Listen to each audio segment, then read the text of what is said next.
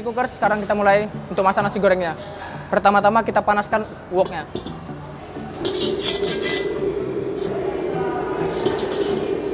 Kita gini supaya woknya panas merata. Setelah wok benar-benar panas, lalu kita masukkan sedikit minyak.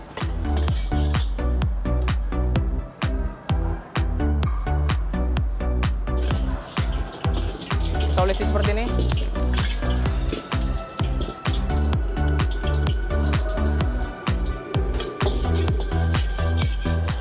Kemudian kita masukkan telur.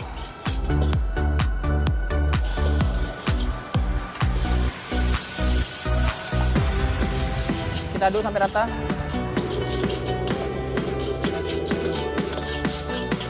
Kemudian nasi kita masukkan. Kita aduk.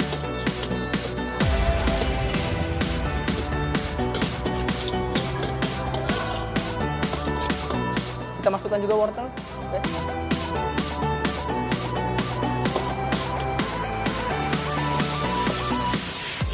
Dan juga spring onion.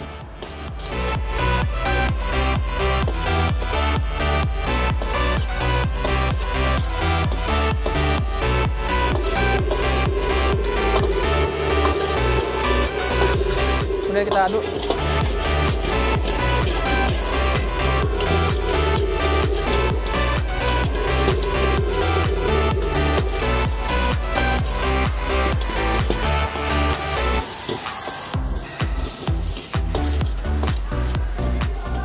Kemudian kita beri rasa. Ada oyster sedikit.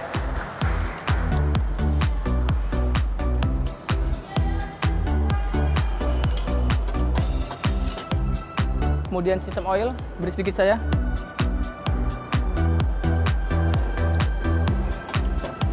Dan kemudian ada salt and pepper, sedikit demi sedikit.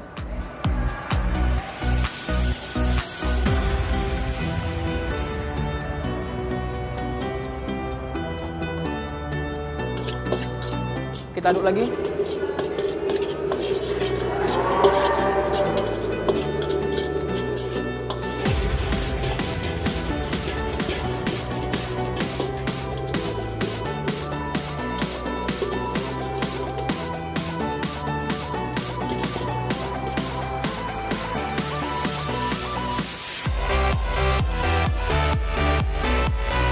Tambahkan sedikit oyster.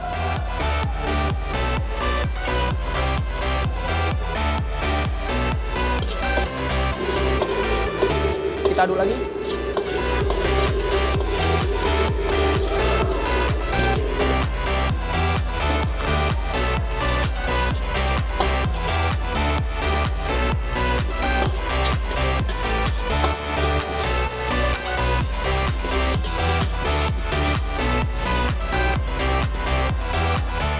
Oke cookers, setelah semua bahan sudah jadi kita masak, saatnya kita plating.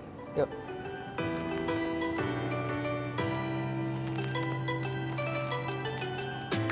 Sini saya menggunakan pokcoy untuk underlinernya dari nasi.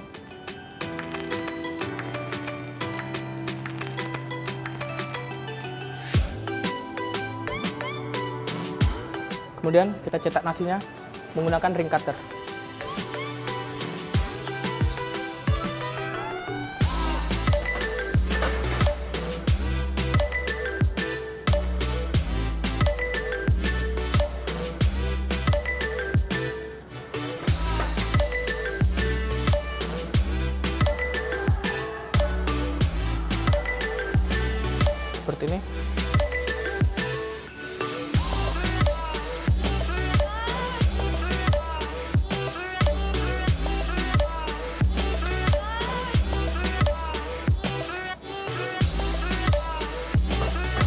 Kemudian kita keraskan nasinya, kita padatkan.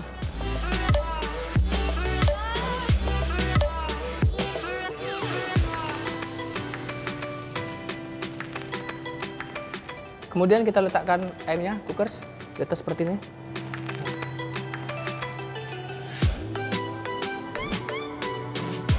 Kemudian saya punya garnish tomato cherry. Letak di atas dari sini. Seperti ini. Dan ada sedikit parsley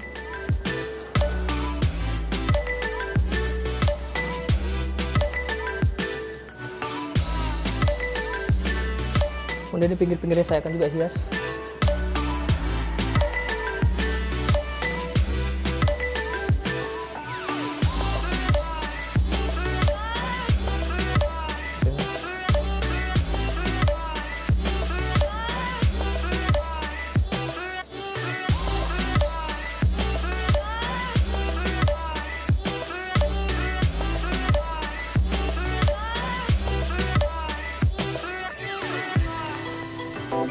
dan sini ada fried mushroom tadi. Saya letakkan di sini sebagai penghias.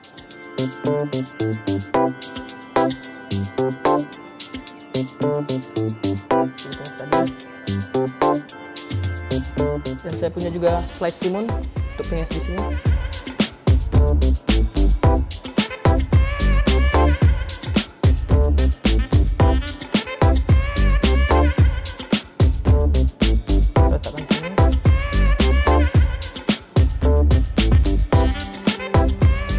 lipat seperti tadi lagi ini.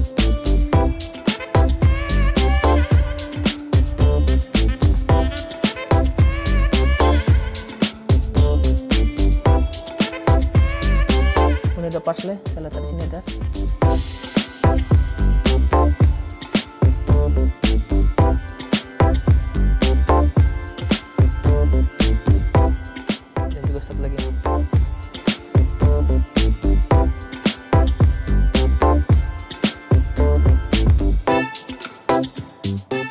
cookers sweet and sour fish with fried rice and saute baby kailan.